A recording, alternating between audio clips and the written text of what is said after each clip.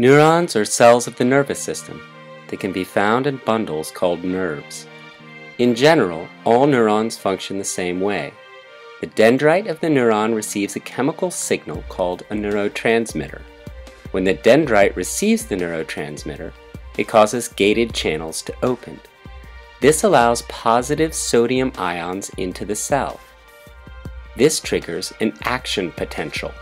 Opening gates allowing more ions in as the action potential passes from the cell body to the axon and finally to the synaptic terminal. Once in the synaptic terminal, the electric charge change causes calcium ions to enter the cell, which signals a vesicle full of neurotransmitters to fuse with the cell membrane, releasing neurotransmitters to the dendrite of the next neuron in the signal chain. To sum up, neurons are the cells of the nervous system that send signals.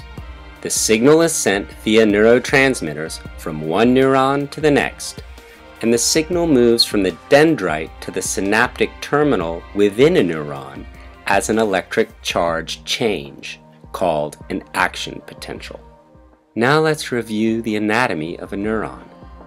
These are dendrites. This is the cell body. This is the axon, which is made of Schwann cells, in between which are nodes of Ranvier. A myelin sheath covers the Schwann cells of the axon. This is the synaptic terminal, or the axon terminus, the end of the axon, where neurotransmitters are sent from. And this, the space between the synaptic terminal of one neuron and the dendrite of the next is called a synapse.